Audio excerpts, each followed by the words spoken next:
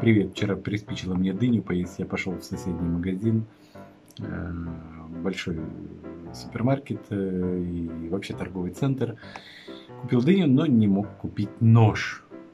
Просто в огромном торговом центре нет ножей. Ну, так сложилось. Видимо, его не было только в ту минуту. Через час они, наверное, появились. В связи с этим я вспомнил анекдот. И не могу с вами не поделиться.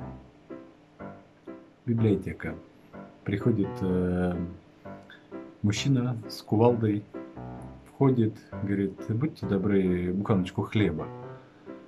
Говорит, мужчина, это библиотека. Он поднимает кувалду и начинает крошить все подряд, бьет, разносит пол библиотеки и уходит. Псих какой-то, ненормальный вообще. Навели порядок, проходит неделя, приходит этот же мужик с кувалдой, говорит, будьте добры, буханочку хлеба. Говорит, это библиотека. История повторяется несколько раз.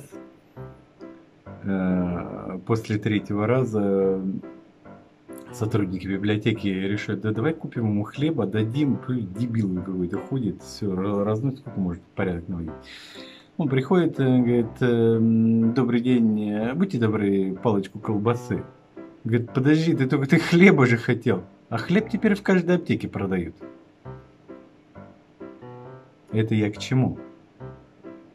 Не знаю. Посмешить вас хотел. Приходите в среду на стрим и подписывайтесь на канал и все такое прочее. Всякие разные любезности вам высказываю.